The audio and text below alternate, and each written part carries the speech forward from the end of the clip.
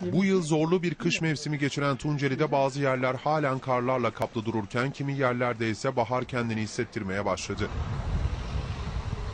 Kış mevsiminin en yoğun ve uzun geçtiği Ovacık ilçesinde kar hala sokak ve evlerin üstünde dururken Pertek ilçesinde ise tam aksine bir görüntü yaşanıyor.